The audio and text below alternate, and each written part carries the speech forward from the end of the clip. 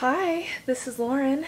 I really don't like using video editing software, so I'm going to try to make this really quick. It's really boring sitting and editing videos.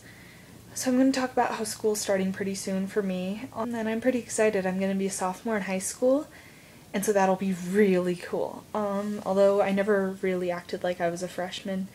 My friend made me an honorary sophomore, so I don't know if I'm an honorary junior now or what's up with that. Um, I got my schedule the other day, and I'm going to read it to you. So on red days, I'm going to have geometry honors, AP US history, drama 1, chemistry honors. So that's my red day.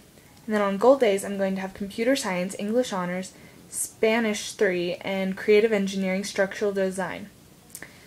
Um, so that's my schedule. I'm supposed to have a bunch of friends in each of those classes, and they all sound really fun. By far, my favorite class is computer science, or it's going to be. Okay, so this year in computer science, I'm going to learn Python, and also I'm going to try to learn Drools and Prolog. So I already know processing, and I know how to program in Alice, which is a cute little programming thing.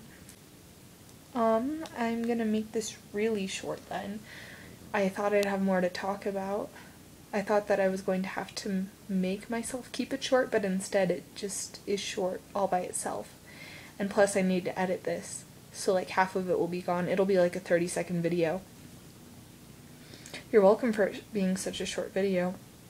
Um, yeah. DFTBA.